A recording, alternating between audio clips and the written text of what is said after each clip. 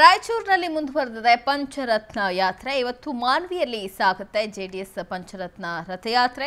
ಮಾಜಿ ಸಿಎಂ ಕುಮಾರಸ್ವಾಮಿ ನೇತೃತ್ವದಲ್ಲಿ ಶಕ್ತಿ ಪ್ರದರ್ಶನವನ್ನ ಮಾಡಲಾಗುತ್ತೆ. ಮಾಜಿ ಸಿಎಂ ಎಚ್ಡಿಕೆಗೆ ಸ್ವಾಗತ ಕೋರುವುದಕ್ಕೆ ಭರ್ಜರಿ ಸಿದ್ಧತೆಯನ್ನು ಕೂಡ ಮಾಡಿಕೊಳ್ಳಲಾಗಿದೆ.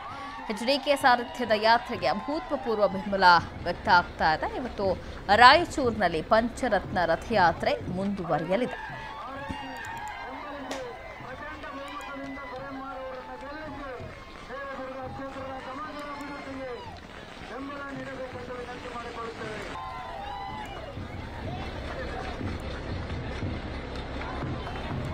ಎಸ್, ಇವತ್ತು ಪಂಚರತ್ನ ರಥಯಾತ್ರೆ ರಾಯಚೂರಿನಲ್ಲಿ ಸಾಗಲಿದೆ. ಈಗಾಗಲೇ ಪಂಚರತ್ನ ರಥಯಾತ್ರೆಗೆ ಅಭೂತಪೂರ್ವವಾದಂಥ ಬೆಂಬಲ ಕೂಡ ವ್ಯಕ್ತ ಆಗ್ತಾ ಇದೆ.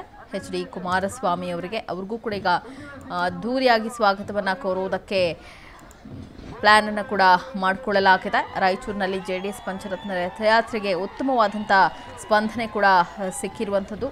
ಮಾನ್ವಿ ತಾಲೂಕಿನಲ್ಲಿ ಇವತ್ತು ಪಂಚರತ್ನ ರಥಯಾತ್ರೆ ಸಾಗಲಿದೆ. ನೀವು ಗಮನಿಸ್ಬೋದು. ಅವರಿಗೆ ಬ್ಯಾಡಗಿ ಮೆಣಸಿನಕಾಯಿಯ ಹಾರವನ್ನು ಹಾಕುವ ಮೂಲಕ ಅದ್ಧೂರಿಯಾದಂಥ ಸ್ವಾಗತವನ್ನು ಕೂಡ ಕೋರಲಾಯಿತು. ಮತದಾರರನ್ನು ಸೆಳೆಯುವಂತಹ ನಿಟ್ಟಿನಲ್ಲಿ ಜೆ ಡಿ ಎಸ್ನ ಪಂಚರತ್ನ ರಥಯಾತ್ರೆ ಸಕ್ಸಸ್ಫುಲ್ ಆಗಿ ಸಾಗ್ತಾ ಇದೆ.